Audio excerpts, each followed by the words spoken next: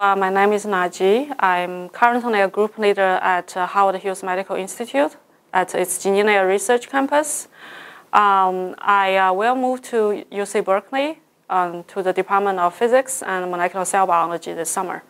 So in my lab, we develop advanced uh, optical imaging method, uh, mostly optical microscopy, to, uh, um, to image brain, even though our method can be applied to other biological or even non-biological system as well. One big part we do is so-called wavefront shaping, which is basically can be uh, um, one of the wavefront shaping approach is called adaptive opt optics. So this is an approach that has been used for many years by astronomers when they try to image stars uh, through the uh, atmosphere using a telescope that is based on Earth. So the problem the astronomers face is that when the starlight is passing through the atmosphere, the wavefront of the light is actually distorted by, by atmosphere because the air masses there has different temperature, different humidity. As a result, they have different refractive index. So when the starlight passing through the atmosphere, its wavefront get distorted so that it cannot form a very sharp image of the star on the telescope.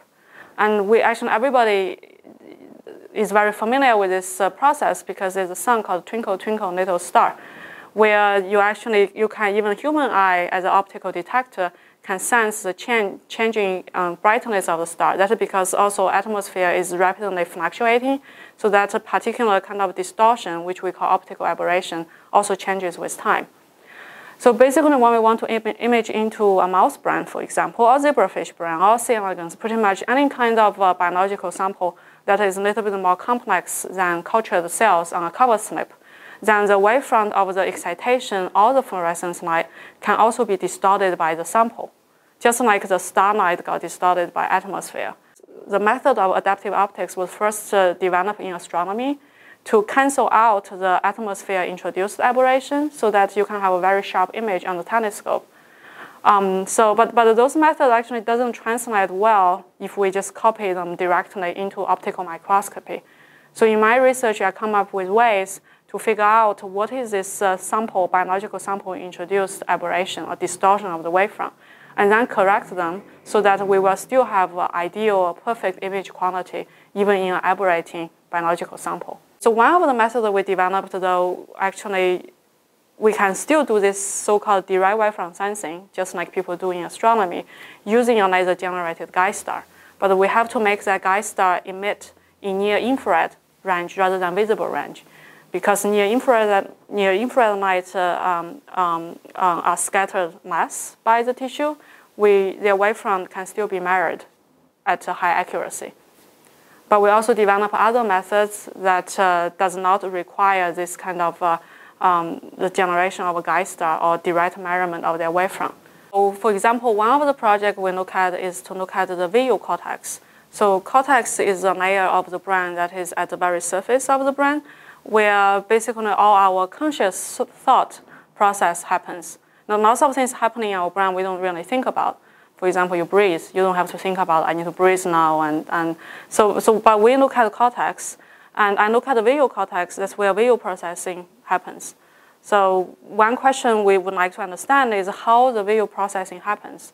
What kind of input cortex receive from the, the, from, uh, from a structure called visual thalamus, and how the neurons using those input to generate new property, which allow us to detect edges, contrast, and so on. So we look at living mouse brain. So usually it's head fixed so that they cannot move around. And uh, the, their brain will be, the, the, the cells inside the brain will be expressing certain kind of fluorescent molecule whose brightness will tell us whether the cell become active, whether they fire action potential. So then we put the animal there, and oftentimes they're awake and sometimes even behaving. And then we can put a two-photon fluorescence microscope right above its head which allow us to image into their brain. And in general, in optical microscopy hasn't really been used for human brain in vivo um, because uh, the, the skulls are opaque.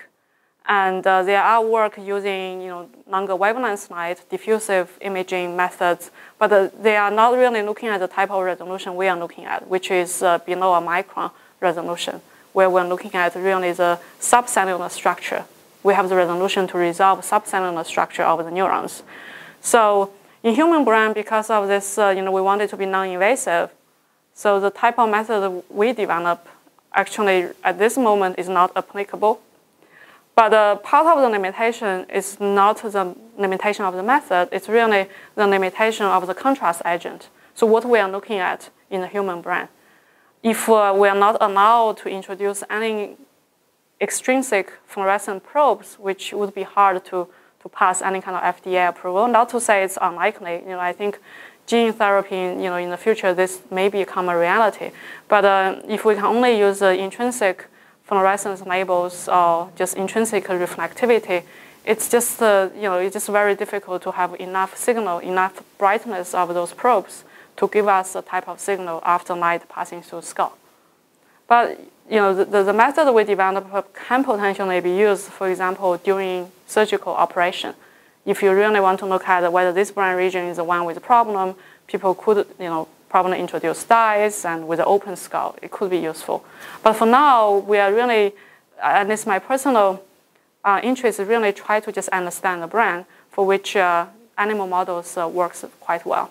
Even though we do fundamental research, but uh, as uh, is uh, typical, what we discover can be easily translated to, to, uh, to um, disease-related research.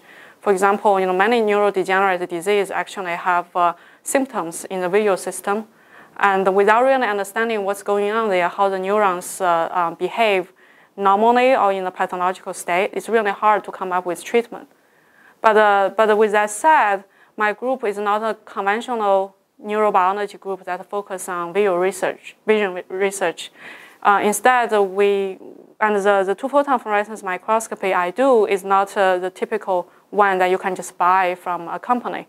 So what I add to this effort, that's also you know, what my group is focusing on, is to develop new methods that would allow us to image deeper in the brain and also at a higher uh, speed as well as uh, even uh, in certain cases uh, go to a super resolution in vivo.